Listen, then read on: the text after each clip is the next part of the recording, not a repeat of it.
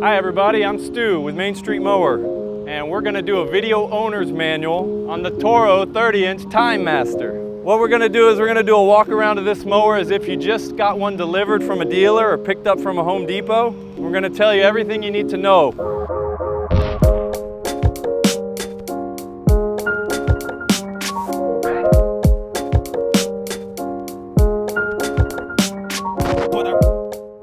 So first, locate your bag. And you got some goodies in here.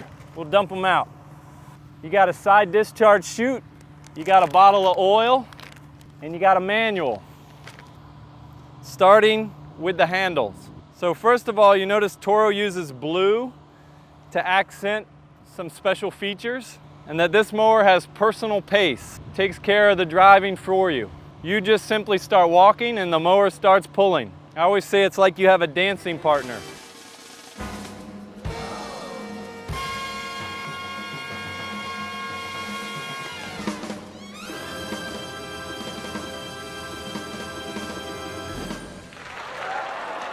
When you stop, it stops. And when you pull it back, it freewheels in reverse. Right here, this blue is to engage your blades. When you crank this mower, you pull the rope, the engine will be on, but the blades will not. This is your blade engagement here. So you hit this lever in, it's a safety, and pull this down and you're gonna hear the decibel level come up as your blades come to life. Let go of this, your blades shut off, but not your engine, just your blades. So normally this feature right here is what turns your mower off. Letting go of this puts a brake on your engine and stops your mower. On this one you don't have a brake. So you have a kill switch right here. You'll hold that down and turn the mower off. And when you let go, it's gonna bounce back to on. This blue feature here is a handle adjustment. Your handle has a low position, there, position for a taller operator there. It has a vertical storage position. This just makes it simple. It takes up less space in the garage. Some people will hang their bag on it like this. Just increases the square footage on your, on your garage floor a little bit. And then it has a forward position. So if you were putting this into the back of a car, it would make it fit into a van, a SUV, a pickup truck, you can also loosen these handles right here, and this is how it came out of the box. Take the handle down like that. That's as small as it can be. If you were really trying to fit this somewhere compact, you can also drop your wheels down and it compacts it a little bit more as well. All right, so everybody's comfortable with their handle. Press the button, lower, higher. You have vertical. You can loosen this and fold it down. Personal pace is no learning here. You just start walking and you go. This blue lever is, is kind of like the boost button. Say you need to climb a little hill, you can squeeze and you're not waiting on this compaction to put it into drive. And then this is your blade engagement and this is your kill switch. This is how you turn the machine off. All right, moving down to the wheels, adjusting your height of cut. This mower cuts four and a half inches, so that's the A position. That's quite high. It's much higher than anything 22 on the market, 21. When you change one side, it changes the other side of the front. You know, go down to one, and then the same in the back. Now there's a lot more weight here in the back, so the best way to do the back really is to kind of take some weight off and then let the weight squash it down. Or going back up, you kind of have to lift it up. You do have a spring-loaded rear axle, it's gonna help it go up. Same up front. So there is a page in the manual that shows you what height each letter is at. Most people set that height once and they pretty much leave it there.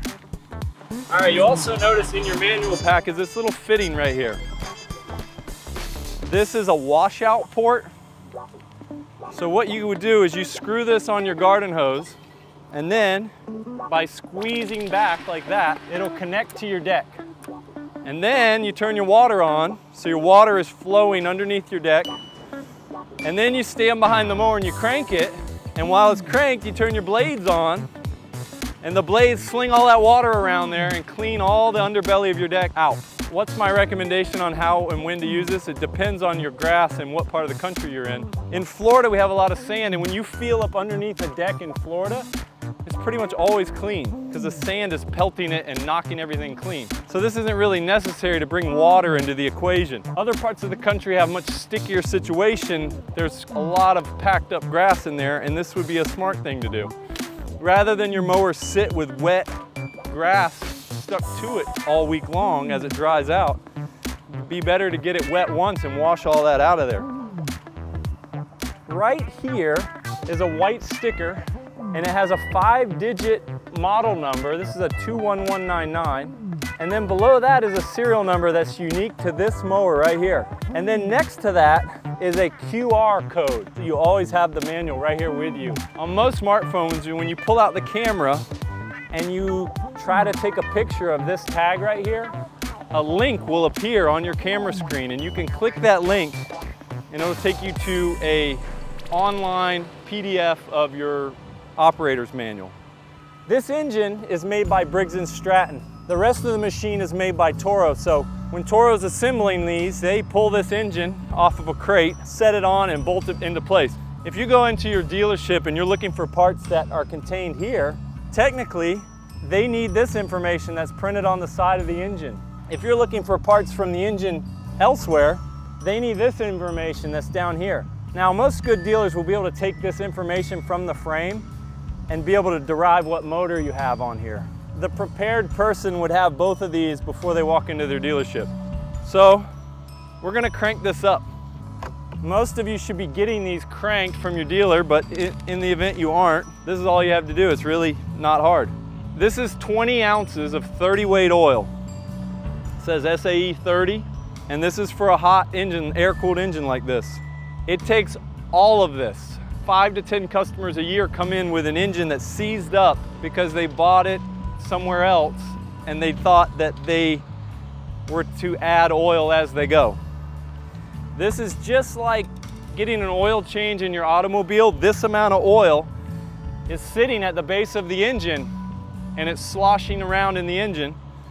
And as your engine runs and accumulates hours, it turns this oil black and, and loses viscosity and you need to do an oil change at that point. So I'm just using this dipstick to pop a hole in this foil and then hopefully I don't spill. I don't have a funnel with me. But as you can see, I'm dumping the whole bottle in, which makes it easy. And then they want you to check your oil by seating the dipstick all the way in its lowest setting. On the bottom of the dipstick, you see two holes. One's a low or an add position, the line that's level with the top hole is your full position. So 20 ounces puts it at that hole. Here, little warning about fuel, and it's letting you know that it was shipped without oil in it.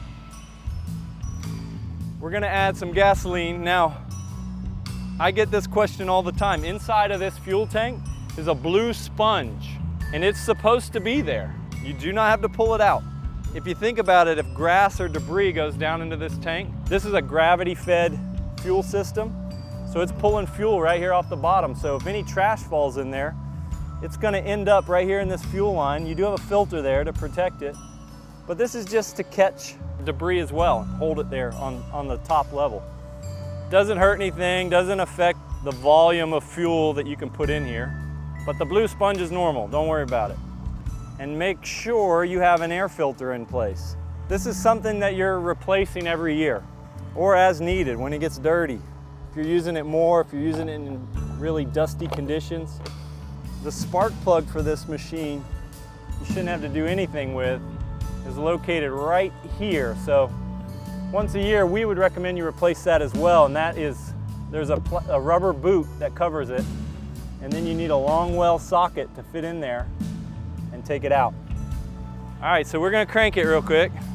You know, you may be accustomed to an engine of old that had a primer bulb, or had a choke lever, or it had an on-off. This engine's always in the on position and there is nothing to touch at all. All you do is pull the rope. And it cranks just like that. And when you engage the blades, it won't go until you hit right here. You can hear the blades are on. When you let go, they shut off. when you hold the stop button down, the motor stops. If you don't hold that button long enough, the engine still has momentum and when you let go, it cranks itself right back up. So you do have to hold it for a few seconds to let it fully die. You're like strangling the motor to death. All right, so in the setting it's in right now, this chute is closed. This back chute is closed. The bag is off. It's a mulching mower. It's a recycling mower. It's taking the clippings and it's putting them back in and chopping them over and over and over. And what's left behind is just like a grass dust. So you have two options. Any of these are three-in-one mowers. So they'll mulch or recycle like they are now. They'll side discharge and all you have to do is open this door and put this right in here like so. And then this spring-loaded door is applying pressure to keep this in place. If something were to happen to this, you have just high speed projectiles flying out of here and you want to get that replaced before you operate it again. Now the other way of running this would be as a bagger. So if you were bagging, you're going to leave your side discharge chute closed and you're going to remove this plug right here. Now you'll notice there's a handle for your that fits your hand and there's a thumb release right here. And you have to pull this plug out. You see that sits in there, the blade rides by that when it's up in that hole. And when this door is open, you're gonna notice a little slot here and here. And your bagger, you notice, has a little ear sticking out here and here. So you just set it in like that. And then your door sits on there and that holds that in place. Once you get a little grass in there, that weight of that grass sags down and that holds it in as well. All right, a couple more things that you may need to do. And honestly, beyond this, you need to see your dealer. So if you wanted to do an annual service to this machine, you could do it. You would want to change your air filter, you'd want to change your oil, you'd want to change your spark plug, and you want to sharpen or replace your blades. Changing the oil, this is how you do it. You crank the mower up, get it hot, and then you locate your oil dipstick, it's right here. You take that out, and then you have an oil pan ready hold it right here under your dipstick fill tube and tip the mower over. Now when the mower is all the way over, it's just gonna sit up like that, which I don't wanna do long if I'm not trying to drain the oil. That's generally the rule in all walk-behind mowers is that the dipstick's on the right side, and when you tip the mower to its side, you tip it to the right side. If you were to tip this mower to the left side, oil from the engine would seep up into your air filter and your carburetor. So if you, if you did it for a really short time, you may just have a lot of smoking and coughing. If you did it for a long time, your air filter would be covered in oil and you'd need a new air filter for the machine to breathe correctly. Uh, then we, we took this off, so we showed you uh, replace your air filter, replace your spark plug, get a socket that's gonna fit up in there, pull that cap off. You wanna be really careful removing your spark plug. You could cross thread it and if you do, you just about spoiled your engine. I mean, you need a new head.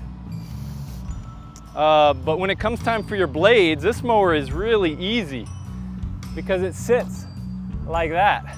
And you're able to come down here with your socket, take these blades off. You know, of course, you'll have to lodge a piece of wood up in here to hold these blades from spinning. Or if you really want to get fancy, you'll buy an impact wrench. You can get those in lithium powered now and you get your 5 8 socket on there and you just zip them off. These bolts are regular thread, so they are righty-tighty, lefty-loosey. But as you can see, these blades cross paths.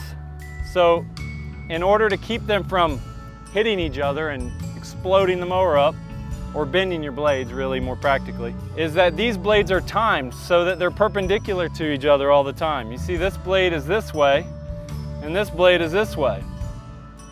So when you take the blades off, you'll notice that there's a little spacer sleeve. It's aluminum with two little holes. And you'll want to orient that so that they aren't coming together.